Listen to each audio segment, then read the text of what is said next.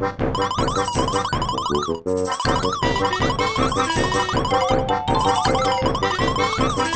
you.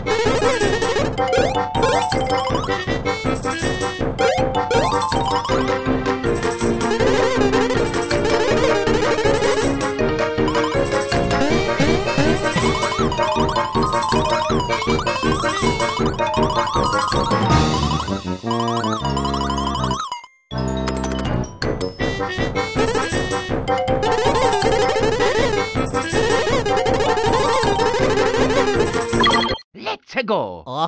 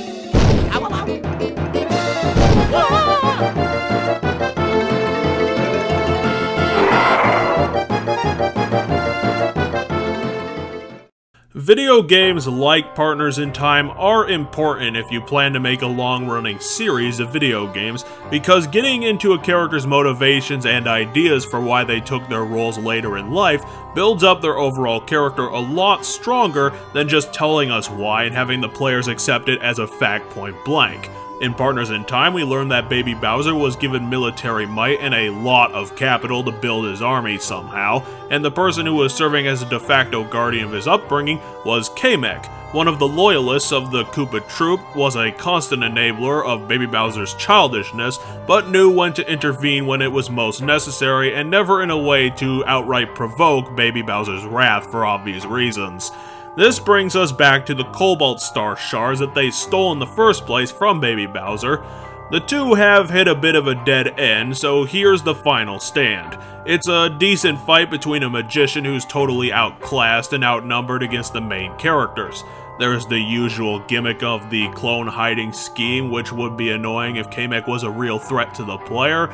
It doesn't help that one of Kamek's main attacks includes summoning spike balls or healing items above the player who has plenty of time to select which ones that they don't want to be bonked in the head with, and considering that Kamek has a maximum of 4 clones to drum up, this gives a lot of chances to take zero damage in this fight at all.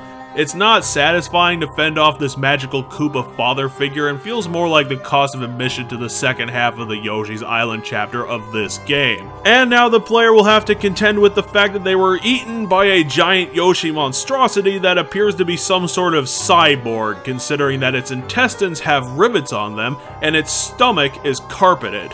Your guess is as good as mine on that one.